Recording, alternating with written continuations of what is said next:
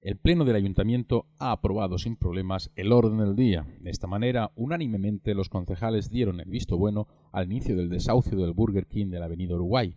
La Corporación Municipal estimó conveniente la modificación del Reglamento de Participación Ciudadana para facilitar que los vecinos acudan con sus propuestas al Pleno y también la aplicación de los coeficientes catastrales de acuerdo con la normativa del Gobierno Central para 2015, así como la entrega de distinciones y condecoraciones a miembros de la Policía Local. A pesar de los votos en contra de la oposición, se seguirá adelante con la paralización del contrato con Par Control hasta que llegue el dictamen del Consell Jurídic Consultiu y se firmará con Producciones Baltimore SL el convenio para la organización del Law Festival hasta 2020. Mientras se discutía la firma del contrato para la realización del Law Festival, en su turno de palabra, la primera teniente de alcalde Gema Amor, responsable también del área de escena urbana, se dirigía al concejal no adscrito Juan Ángel Ferrer.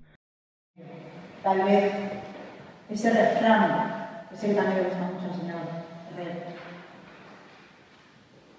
ese refrán que se debe utilizar todo el día en su vida, en su vida diaria, ese refrán de que cree el ladrón que todos son de su condición, criticándole por haber realizado recientemente dos ruedas de prensa donde denunciaba el pago de sendas facturas muy por encima de los precios de mercado a la concesionaria de parques y jardines la Generala, adjuntando documentación oficial con la firma de la propia concejala del CDL. Sin embargo, traspasando las normas del debate político, el concejal Ferrer, mientras era criticado, colocaba sobre su mesa macetas con plantas ornamentales idénticas a las que la edil liberal tan caras paga. Y la cosa podía haberse quedado ahí, como el zapato de Khrushchev en su famosa intervención del 12 de octubre de 1960 en la Asamblea de Naciones Unidas, pero no.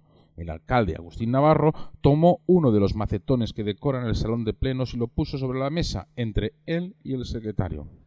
A ojos de los asistentes parecía un pulso para ver quién tenía la maceta más grande, en una escena que Berlanga retrataría como más propia del imperio austrohúngaro que de una corporación municipal del siglo XXI. Posteriormente, el alcalde pidió públicamente perdón. A pesar de que todavía quedaban asuntos por tratar, bien puede decirse que el Pleno acabó ahí. El mes que viene, más.